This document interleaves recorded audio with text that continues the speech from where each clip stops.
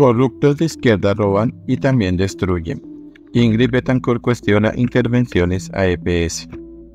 Las candidatas a la presidencia Ingrid Betancourt advirtió que el presidente Gustavo Petro estaría interviniendo las EPS como una forma de financiar su proyecto político. Hunden la reforma y Petro saquea Sanitas y Nueva PS para financiar su revolución. Corruptos de izquierda roban y también destruyen. 17 millones de afectados, sostuvo Betancourt. Asimismo, la líder del Partido Verde Oxígeno invitó a la ciudadanía a participar de una movilización en defensa de la democracia que tendrá lugar el próximo domingo 21 de abril. Petro va de retro. Nos vemos en la marcha del 21 de abril.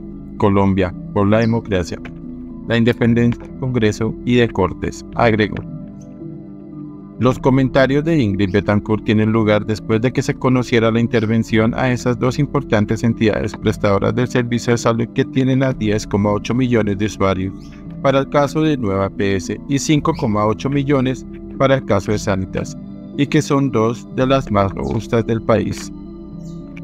La Superintendencia Nacional de Salud designó agentes interventores para esas dos entidades justo cuando se estaba hundiendo la reforma de la salud en el Congreso de la República.